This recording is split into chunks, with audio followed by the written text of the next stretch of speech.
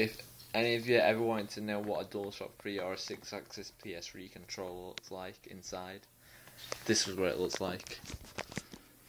I've had like four broken controllers, so yeah. That's the back of it. That, that's a Sixaxis it looks like. Lol. Yeah, Sixaxis.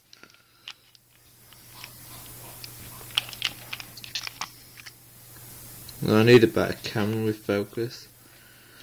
Uh, see the battery there? It's actually made by Sony.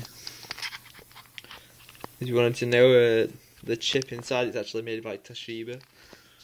So, uh, yeah. It's a bit random. See if you can see the inside of it from there. Well, that feels so weird.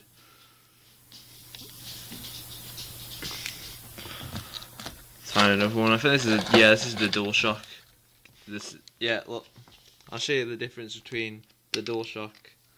Well, actually, I think they've got a different battery as well. I don't know. right. Okay. DualShock Sixaxis. As you can see, they've got the vibration weights in them. That's what I think. I think they've gone in my controller. I think that's they've moved about a bit in the one I'm using right now. This also seems to have a smaller battery. I don't know why they've done that. No, it's not made. This one is made by Sony. This one's made by NEC Tokin Corporation. This one was made by Sony. So I'm guessing the Sixaxis batteries are actually going to be better than these ones. So uh, yeah. And also they seem to have a better like thing here, whatever you want to call that. I don't know what it is. I think it protects the, the buttons a bit. Let's see what else we've got in here. Got broken thing.